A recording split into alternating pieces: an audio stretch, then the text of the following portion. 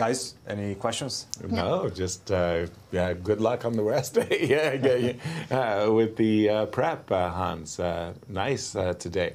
Yeah, and I was just wondering, maybe Hans can share with us how what is his routine looks like every day. Like, let's say when you are preparing for your games, what what else you are doing well, here in St. St. I've had a few stalkers, so I don't want to say my routine.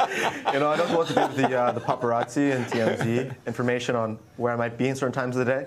So I will keep that to myself. Right, right. Okay. But uh, I have a very, I, I, I have a routine that I try to stick to, and uh, Do you put glasses on when you go outside? Do you put like some hats? Like no, uh, hair?